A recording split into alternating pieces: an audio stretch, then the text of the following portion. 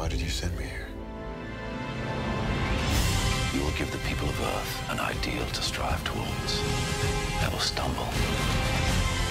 They will fall. But you will help them. You will guide them. You will give them hope. That's what this symbol means. Hope.